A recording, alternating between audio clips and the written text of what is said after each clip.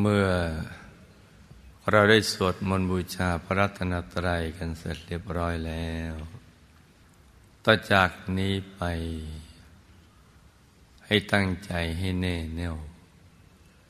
มุ่งตรงต่อหนทางพระนิพพานกัน ทุกทุกคนนะลูกนะ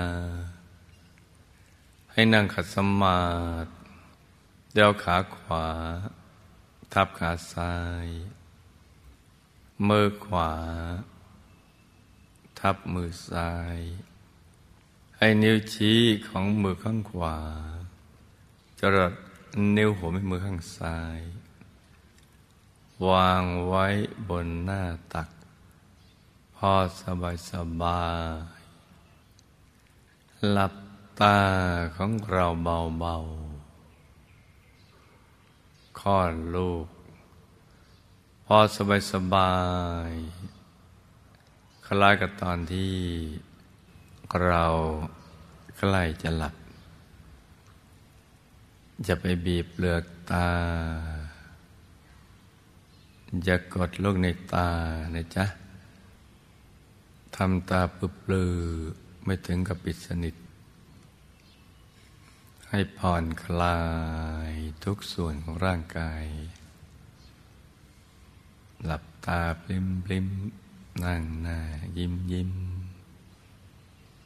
ผ่อนคลายทุกส่วน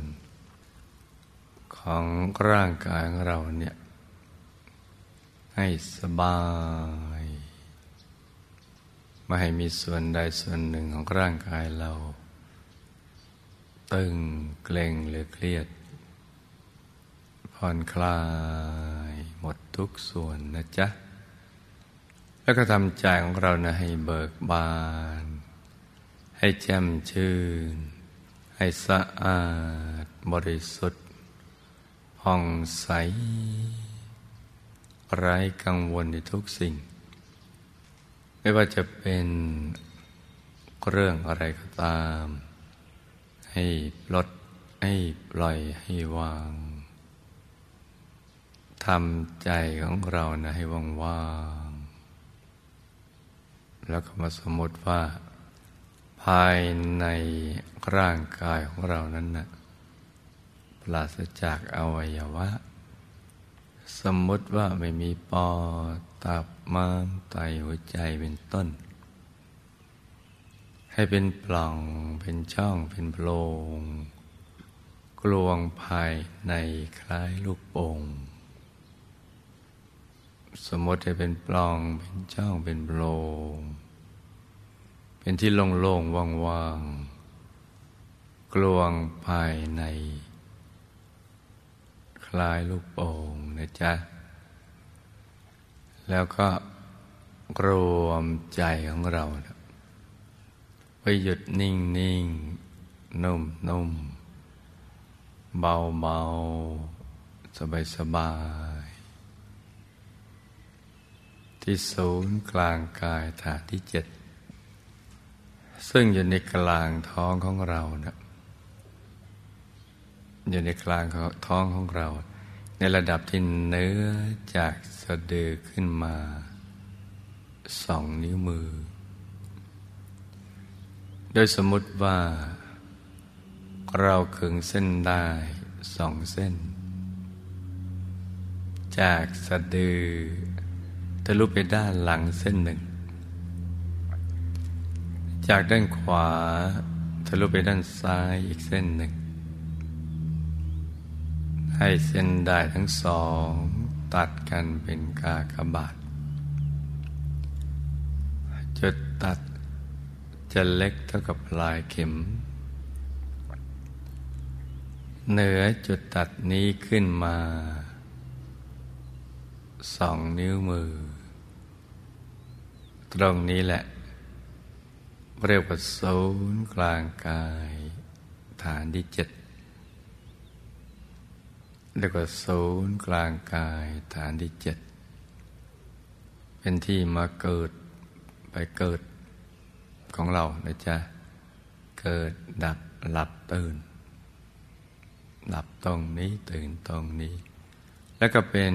จุดเริ่มต้น ที่จะไปสู่อายตนะนิพพานที่พระพุทธเจ้าพระอารหันต์ทั้งหลาย ท่านเริ่ม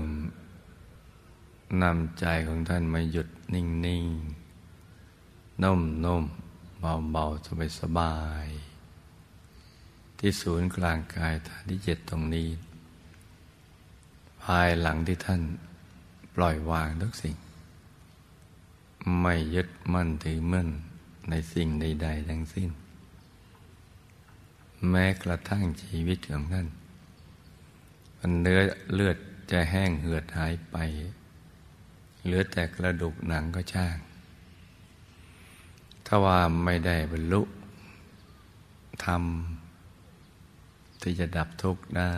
หลุดพ้นจากทุกข์ได้ ก็จะไม่ลุกจากที่ ท่านก็สละหมดปล่อยวางหมดแม้กระทั่งชีวิต เพราะฉะนั้นอะไรที่นอกเหนือจากชีวิต ก็แปลว่าท่านสละไปหมดแล้ว ไม่ยึดมั่นที่มั่น เพราะนั้นใจของท่านก็จะมาหยุดนิ่งนิ่ง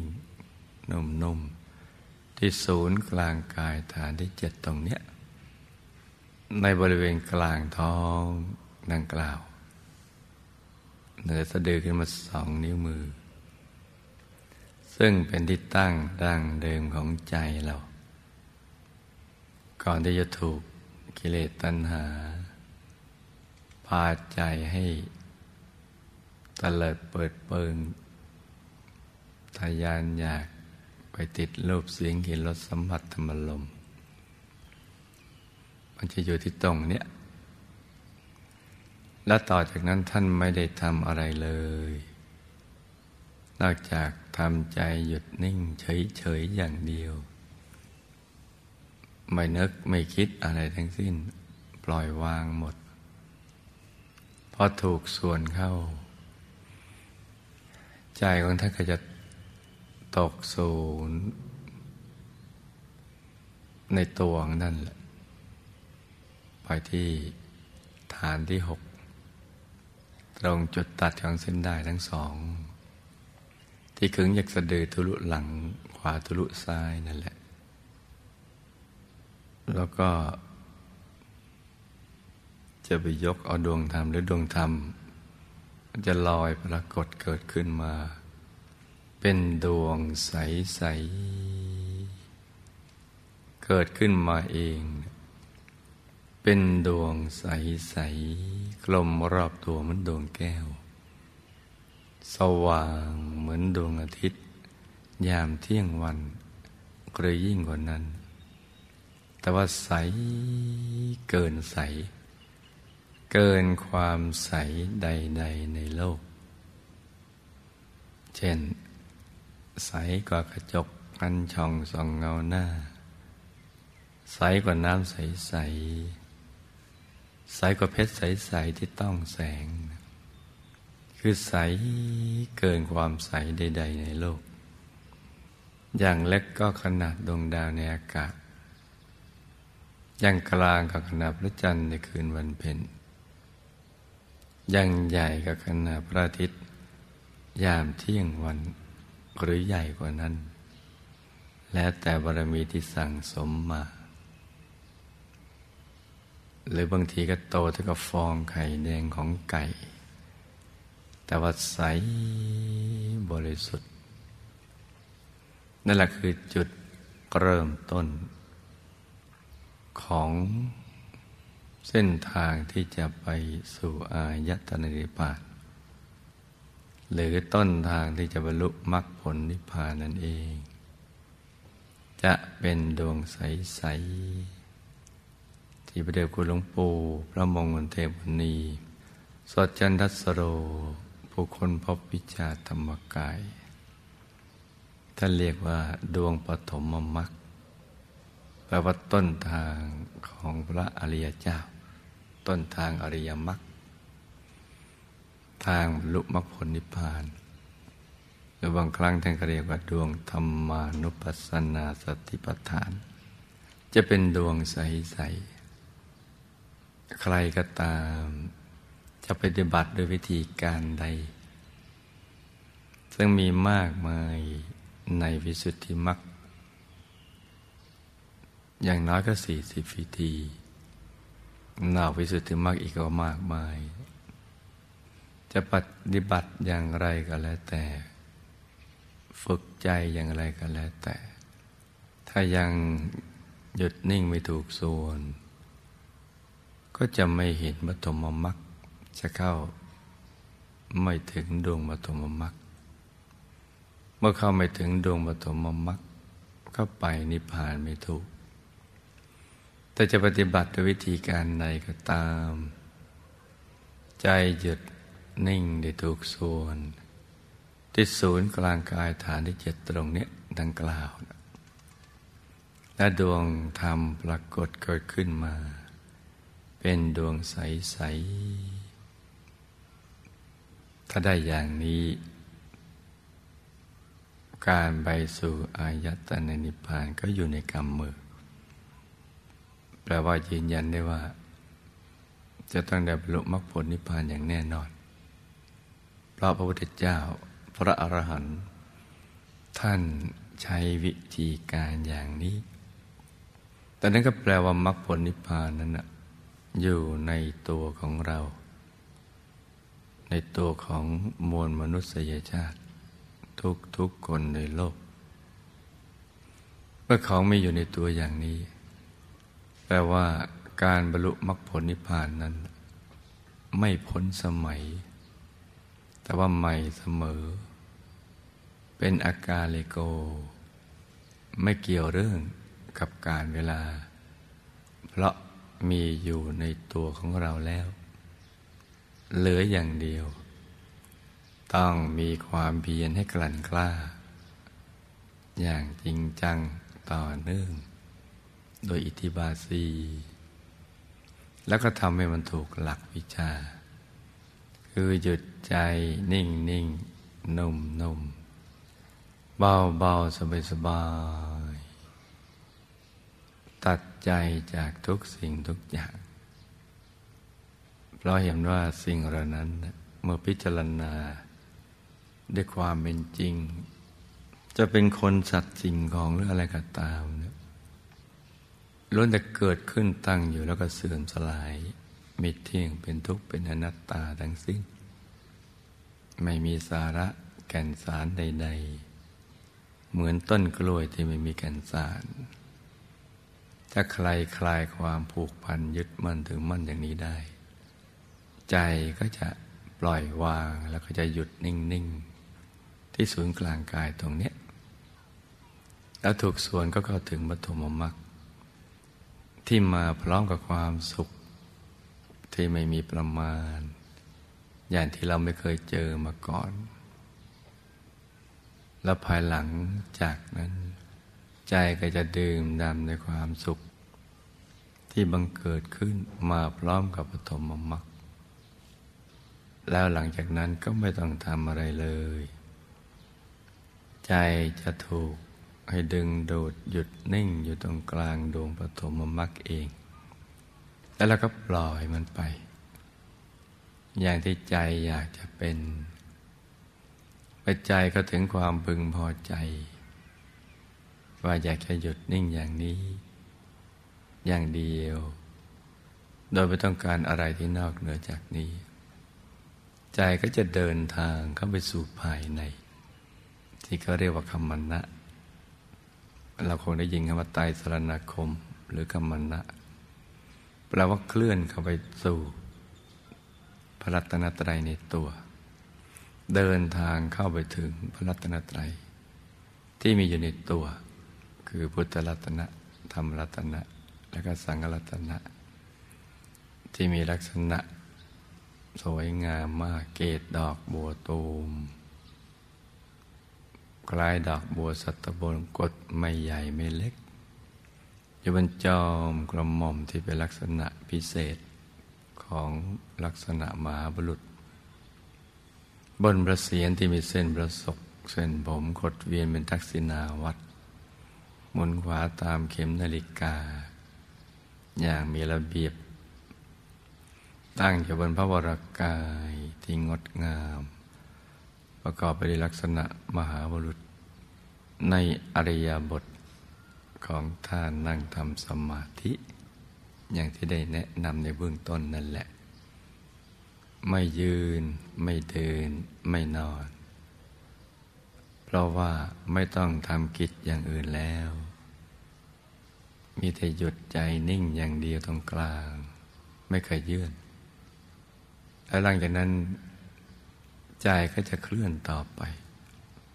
ตั้งแต่เบื้องต้นจนกระทั่งเป็นพระอรหันต์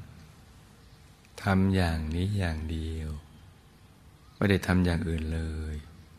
และความเห็นแจ้งก็จะเกิดขึ้น ที่เรียกว่าวิปัสสนา ปัสสนาแปลว่าการเห็น วิก็แปลว่าวิเศษ แจ้งหรือต่าง เห็นแจ้งเกิดขึ้น เพราะความสว่างภายในที่สว่างกระดวงอาทิตย์ ยามเที่ยงวันหลายเท่านัก เป็นแสงสว่างที่เนียนตาละมุนใจแล้วก็ก็มีธรรมจักคุดวงตาที่เห็นในรอบทิศของธรรมกาย ซึ่งเป็นตัวพุทธลัตนะ เมื่อความเห็นแจ้งเกิดขึ้น ความรู้แจ้ง ก็เกิดขึ้นในเวลาเดียวกันจักขุญาณปัญญาวิชาแสงสว่าง ก็จะบังเกิดขึ้นพร้อมๆกันทำให้รู้เห็นอะไรไปตามความเป็นจริง และใจก็จะคลายความผูกพัน หลุดพ้นไปตามลำดับ ตั้งแต่กิเลสขั้นยาบ กิเลสขั้นกลาง กิเลสขั้นละเอียด ที่เรียกว่าสังโยชน์ก็จะหลุดล่อนออกจากใจไป เข้าถึงธรรมไปตามลำดับ ถึงกายธรรมโสดาบันพระสกิตาคามีพระอนาคามีและพระอรหันต์ทั้งหมดนี้มีอยู่ในตัวของเราทั้งสิ้นดังนั้นมรรคผลนิพพานจึงไม่จำกัดการเวลา ไม่เกี่ยวข้องเกี่ยวกับเรื่องการเวลา เกี่ยวข้องกับการขยันหรือขี้เกียจและถูกหลักทำถูกหลักวิชาหรือไม่ ถ้ามีอิทธิบาทสีมีความรักสมัครใจ ที่จะสลัดตนพ้นจากกองทุกข์แล้วก็ให้มีสติ อยู่ที่กลางกาย อยู่กับเนื้อกับตัว รักษาใจให้หยุดนิ่งกับตัว ด้วยความสบาย อย่างสม่ำเสมอต่อเนื่อง แล้วก็หมั่นสังเกตแล้วก็จะพบเหตุแห่งการบกพร่อง แล้วก็ช่องทางแห่งความสำเร็จในการบรรลุมรรคผลนิพพาน การปรับปรุงกายและใจเพื่อให้ปฏิบัติที่ถูกต้องและถูกส่วนก็จะบังเกิดขึ้นเองเป็นอัตโนมัติ แล้วในสุดเราก็จะรู้เห็นอะไรไปตามความเป็นจริง อย่างน้อย ก็จะได้เข้าถึงความสุขที่แท้จริง ซึ่งเป็นสิ่งที่ทำให้เกิดความพึงพอใจอันสูงสุด จนกระทั่งไม่อยากที่จะได้อะไรที่นอกเหนือจากนี้ นอกจากใจหยุดกันนิ่ง และจะทำให้ทราบซึ้งกับคำสอนของพระบรมศาสดาที่ว่า นัตติสันติปรังสุขขัง สุขอื่นนอกจากหยุดจากนิ่งไม่มี แปลว่าเราจะไปหาความสุข จากคนสัตว์สิ่งของลาบยศสรรเสริญอะไรต่าง ๆ เหล่านั้นไม่มี จะไปเที่ยวเตะสนุกเฮฮาเที่ยวชายทะเลน้ำตกภูเขาต่างประเทศ จะไปดูก้อนอิฐก้อนหินตึกรามบ้านช่องอะไรก็แล้วแต่ หรือจะพบปะพูดคุยกับคนที่คุยถูกใจ ก็จะไม่มีวันที่จะเจอความสุขที่แท้จริงได้ เพราะความสุขที่แท้จริงมันอยู่ที่ใจหยุดใจนิ่งอยู่ในตัวของเรา จะไม่มีใครให้เราได้ เกิดความพึงพอใจอันสูงสุด ความพึงพอใจอันสูงสุดนี้ไม่มีใครจะให้ได้ นอกจากเราจะทำเอง ด้วยตัวของเราเอง ตั้งอัตตาหิอัตโนนาโถตัววิธีการหยุดใจนิ่งนิ่งนุ่มนุ่มที่ศูนย์กลางกายฐานที่เจ็ดแล้วเราก็จะพบความสุขที่แท้จริง ดังที่พระบรมศาสดา สัมมาสัมพุทธเจ้าตรัสเอาไว้วนัตติสันติปรังสุขขัง สุขอื่นนอกจากใจหยุดใจนิ่งนั้นไม่มีเลย ก็แปลว่าเราก็จะต้อง หันกลับมา มองเข้าไปภายในแล้วฝึกใจให้หยุดนิ่ง ที่กลางกายตรงนี้เท่านั้นพอเราได้มองข้ามสิ่งเหล่านี้ไปตั้งแต่เกิดมาจนกระทั่งบัดนี้ เดี๋ยวนี้ถึงเวลาสว่างแล้วนะมันหมดยุคที่เราจะลองผิดลองถูก หรือแสวงหาในสิ่งที่เราอยากได้โดยวิธีการที่ผิดผิด หันกลับมาศึกษาวิธีการที่ถูกต้อง ตามคำสอนของพระบรมศาสดาสัมมาสัมพุทธเจ้า เราก็จะได้พบได้อย่างอัศจรรย์สมการได้มาเกิดในชาตินี้ ได้มาพบพระพุทธศาสนา ได้อยู่ในบุญญาเขตล่มเงาคำสอนของพระบรมศาสดาสัมมาสัมพุทธเจ้า เราจะมีความรู้สึกปิติและภาคภูมิใจในการที่เราได้มาเกิดเป็นมนุษย์ มาพบพระพุทธศาสนา เป็นชาวพุทธแท้ ได้ปฏิบัติตามคำสอนของพระบรมศาสดาสัมมาสัมพุทธเจ้า และก็มีผลในการปฏิบัติ คือมีประสบการณ์ภายในในตัวของเราเอง จะมีปิติและภาคภูมิใจ และนับจาก วันเวลาที่ใจหยุดนิ่งได้ ชีวิตของเราก็สว่างแล้ว เราได้ชื่อว่าเราประสบความสำเร็จในชีวิต ยิ่งกว่าการได้ทรัพย์สินเงินทองภายนอก ความรู้สึกอย่างนี้แหละเขาเรียกว่าเราได้คุมทรัพย์อันประเสริฐคือได้อริยทรัพย์ ซึ่งเป็นเครื่องปลื้มใจของท่านผู้รู้ผู้ตื่นผู้เบิกบานแล้ว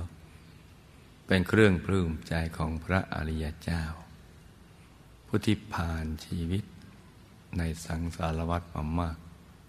เคยเกิดเป็นอะไรมาก็มากมาย แต่แล้วท่านก็เห็นว่าสิ่งนั้นมันไม่ใช่สาระแก่นสาร แล้วในที่สุดก็พบว่า มีวิถีทางเดียวเท่านั้น ที่จะทำให้เราสมหวังในชีวิต คือการหยุดใจนิ่งนิ่งนุ่มนุ่มที่ศูนย์กลางกายฐานที่เจ็ดเท่านั้น ความพึงพอใจสูงสุดก็จะเกิดขึ้น